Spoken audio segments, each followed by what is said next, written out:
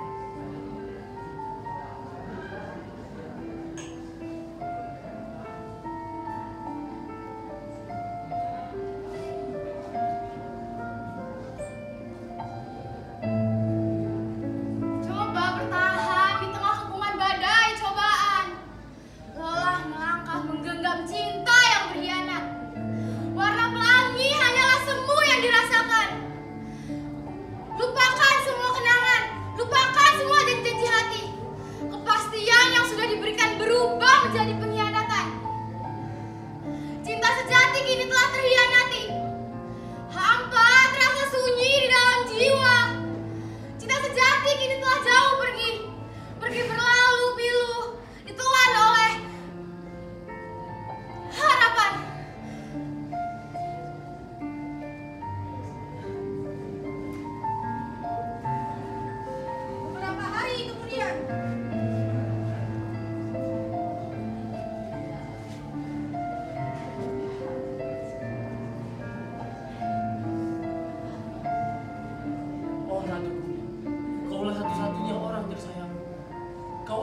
satu-satunya orang tercinta. Namun, mengapa kau tega sekali melakukan hal itu? Meracuni darah keturunan garis darah keturunanmu. Orang yang akan mewarisi semua jabatan.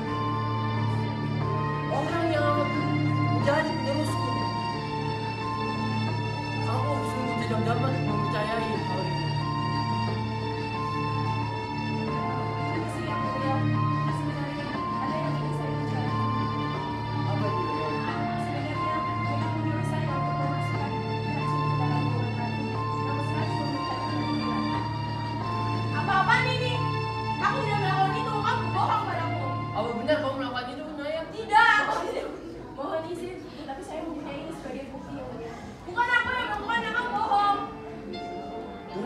sekarang? Kurung dia di penjara botanya sekarang.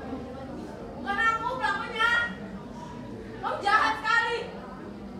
Aku sih aku sungguh aku memang mencintai istriku sendiri. Lebih baik aku sekarang meminta maaf kepadanya